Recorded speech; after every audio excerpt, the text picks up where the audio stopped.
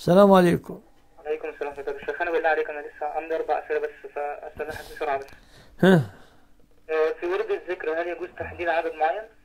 لا بأس لنفسك. أنا أقول مثلا سأسبح 200 مرة. لنفسي لا بأس.